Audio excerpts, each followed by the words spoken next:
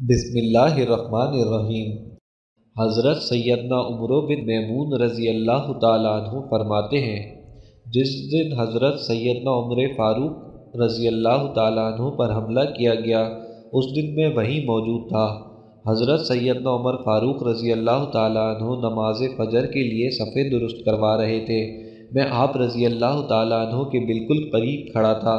हमारे दरमियान सिर्फ़ हज़रत सैदना अब्दुल्ला बिन अब्बास रज़ी अल्लाह तु हायल थे। हज़रत सैदना उमर रज़ी अल्लाह तु सफ़ों के दरमियान से गुज़रते और फरमाते, अपनी सफ़े दुरुस्त कर लो। जब आप रज़ी अल्लाह तु ने देखा कि सफ़े बिल्कुल सीधी हो चुकी हैं, नमाजियों के दरमियान बिल्कुल खला नहीं रहा और सबके कंधे मिले हुए हैं तो आप रज़ी अल्लाह तु आगे बढ़े और तदबीर तहरीमा कही।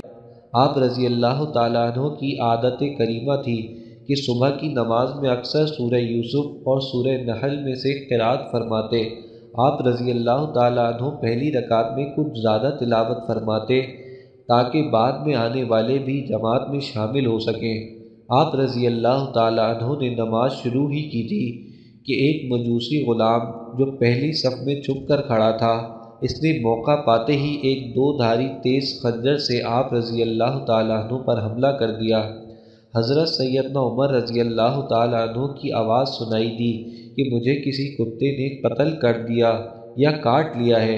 वो मजूसी ग़ुलाम हमला करने के बाद पीछे पलटा और भागते हुए तेरह नमाजियों पर हमला किया, जिसमें से सात शहीद हो गए। एक नमाजी ने आगे बढ़कर इस पर कपड़ा डाला और इसे पकड़ लिया। जब इस बदबक ग़ुलाम ने देखा कि अब मैं पकड़ा जा चुका हूँ तो इसने अपने ही खंजर से ख़ुदकुशी कर ली। जब हज़रत सैदना उमर रज़ी अल्लाह तु पर हमला हुआ तो सफ़ों में दूर दूर खड़े अक्सर नमाजी इस हमले से बेखबर थे। जब इन्होंने हज़रत सैदना उमर रज़ी अल्लाह तु की खैरात ना सुनी तो सुबहान अल्लाह सुबहान अल्लाह कहना शुरू कर दिया। हज़रत सैदना अब्दुलरहमान रज़ी अल्लाह तु ने आगे बढ़कर फजर की नमाज़ पढ़ाई। अक्सर लोगों को नमाज़ के बाद वाक़े का इल्म हुआ। हज़रत सैदना उमर रज़ी अल्लाह तु ज़ख्मी हो चुके थे। आप रज़ी अल्लाह तु ने हज़रत सैदना इबन अब्बास रज़ी अल्लाह तु से फ़रमाया, ए इबन अब्बास रज़ी अल्लाह तु मालूम करूँ मुझे किसने ज़ख्मी किया है? आप रज़ी अल्लाह तु बाहर गए। कुछ देर बाद वापस आकर बताया, मुगीरा रज़ी अल्लाह तु के ग़ुलाम अबू लुलू फ़िरोज़ ने आप रज़ी अल्लाह तु पर हमला किया है।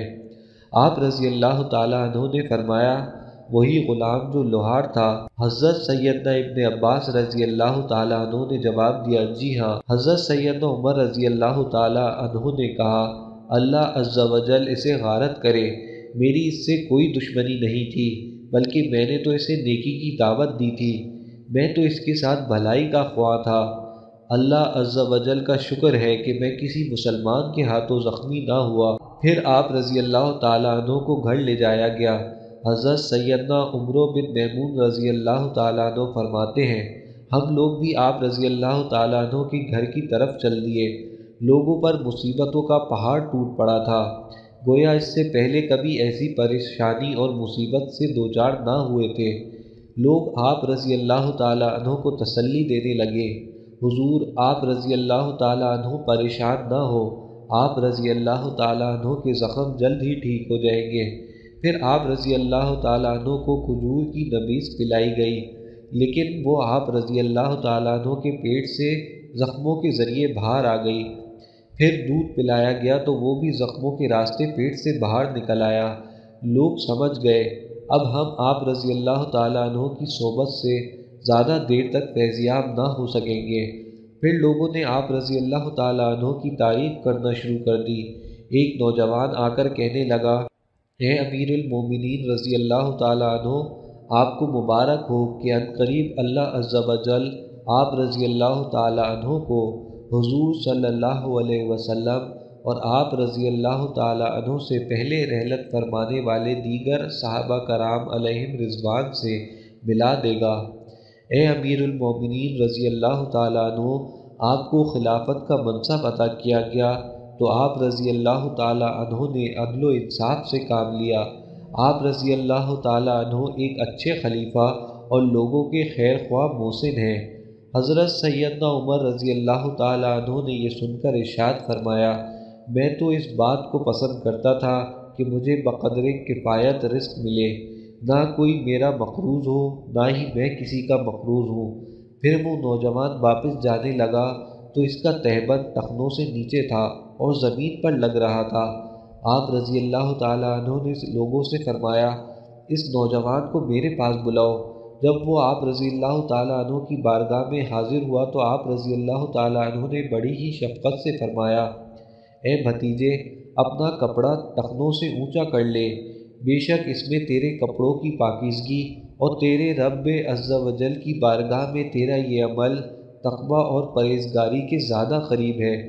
सुबह अल्लाह अज्जल कुर्बान जाइए इन पाकिज़ा हस्तियों के। जज्ब तबलीग पर के आखिरी लम्हात में भी नेकी की दावत देना तर्क न की और इस हालत में भी खिलाफ शरा काम बर्दाश्त न हो सका। अल्लाह अज्जा इनके सदक़े हमें भी जज्ब तबलीग अता फ़रमाए। फिर आप रज़ी अल्लाह तु ने अपने साहबजादे हज़रत सैदना अब्दुल्ला बिन उमर रज़ी अल्लाह तु से फ़रमाया, हिसाब लगाकर बताओ हम पर कितना कर्ज़ है। इन्होंने हिसाब लगाकर बताया तकरीबन छियासी हज़ार दरहम। आप रज़ी अल्लाह तु ने फरमाया, अगर ये कर्ज़ मेरे माल में से अदा हो जाए तो अदा कर देना। और अगर मेरा माल ना काफ़ी हो तो बनी अदीम बिन काब के माल से अदा करना। अगर फिर भी नाकाफ़ी हो तो कुरैश से सवाल करना। इनके अलावा और किसी से सवाल ना करना। फिर आप रज़ी अल्लाह तु ने अपने साहबजादे से फरमाया, तुम उम्मुलमोमिनीन हज़रत सैदना आयशा सिद्दीक़ा रज़ी अल्लाह तु की बारगाह में चले जाओ और इनसे अर्ज़ करो कि उमर बिन ख़त्ताब इस बात की इजाज़त चाहता है कि इसे इसके साथियों के साथ दफन किया जाए और हुजूर सल्लल्लाहु अलैहि वसल्लम के कुर्ब में जगह अता फरमाई जाए। हज़रत सैदना अब्दुल्ला बिन उमर रज़ी अल्लाह तु हज़रत सैदना आयशा रज़ी अल्लाह तु की बारगाह में हाजिर हुए और सलाम अर्ज़ किया। आप रज़ी अल्लाह तु रो रही थी। आप रज़ी अल्लाह तु ने कहा, हज़रत सैदना उमर रज़ी अल्लाह तु आपको सलाम अर्ज़ कर रहे हैं और इस बात की इजाज़त चाहते हैं कि इन्हें इनके साथियों के कुर्ब में दफन किया जाए। आप रज़ी अल्लाह तु ने यह सुनकर इशाद फरमाया, ये जगह तो मैंने अपने लिए रखी थी, लेकिन अब मैं ये जगह उमर बिन ख़त्ताब रज़ी अल्लाह तु को इशार करती हूँ। इन्हें जाकर ये खुशखबरी सुना दो। चुनाचे हज़रत सैदना अब्दुल्ला बिन उमर रज़ी अल्लाह तु इजाज़त लेकर वापस तशरीफ़ ले गए। जब हज़रत सैदना उमर रज़ी अल्लाह तु को बताया गया कि हज़रत सैदना अब्दुल्ला बिन उमर रज़ी अल्लाह तु आ गए हैं तो आप रज़ी अल्लाह तु ने फरमाया, मुझे बिठा दो। आप रज़ी अल्लाह तु को सहारा देकर बिठा दिया गया। आप रज़ी अल्लाह तु ने फरमाया ए मेरे बेटे, क्या खबर लाए हो? आप रज़ी अल्लाह तु ने अर्ज़ की, हज़रत सैदना आयशा रज़ी अल्लाह तु ने आप रज़ी अल्लाह तु को इजाज़त फरमा दी है। आप खुश हो जाएँ। जिस चीज़ को आप पसंद किया करते थे, वो आपको अता कर दी गई है। ये सुनकर आप रज़ी अल्लाह तु ने फरमाया, मुझे इस चीज़ से ज़्यादा और किसी चीज़ की फ़िक्र नहीं थी। अल्हम्दुलिल्लाह, मुझे मेरी पसंदीदा चीज़ अता कर दी गई है। फिर आप रज़ी अल्लाह तु ने फरमाया, जब मेरी रूह परवास कर जाए तो मुझे उठाकर सरकार सल्लल्लाहु अलैहि वसल्लम के रोज़े अकदस पर ले जाना, फिर बारगाह नबूवत में सलाम अर्ज़ करना और हज़रत सैदना आयशा रज़ी अल्लाह तु से अर्ज़ करना। उमर बिन ख़त्ताब अपने दोस्तों के साथ आराम की इजाज़त चाहता है, अगर वो इजाज़त दे दे तो मुझे वहाँ दफन कर देना। और अगर इजाज़त ना मिले तो मुझे आम मुसलमानों के कब्रस्तान में दफना देना। जब आप रज़ी अल्लाह तु की रूह खालिक हकीकी से जा मिली तो हम लोग आप रज़ी अल्लाह तु को मस्जिद नबी में ले गए और हज़रत सैदना अब्दुल्ला बिन उमर रज़ी अल्लाह तु ने हजर मुबारक से बाहर खड़े होकर उम्मुलमोमिनी सैदना आयशा रज़ी अल्लाह तु को सलाम अर्ज़ किया। और हज़रत उमर रज़ी अल्लाह तु को हजर मुबारक में दफन करने की इजाज़त तलब की। आप रज़ी अल्लाह तु ने इजाज़त अता फरमा दी, चुनाचे हज़रत सैदना उमर फ़ारूक रज़ी अल्लाह तु को हजूर नबी पाक सल्लल्लाहु अलैहि वसल्लम के जलवों में हज़रत सैदना सिद्दीक अकबर रज़ी अल्लाह तु के पहलू में दफन कर दिया गया। अल्लाह अज्जा वजल की रहमत हो इन पर और इनके सदक़े हमारी मगफ़रत हो।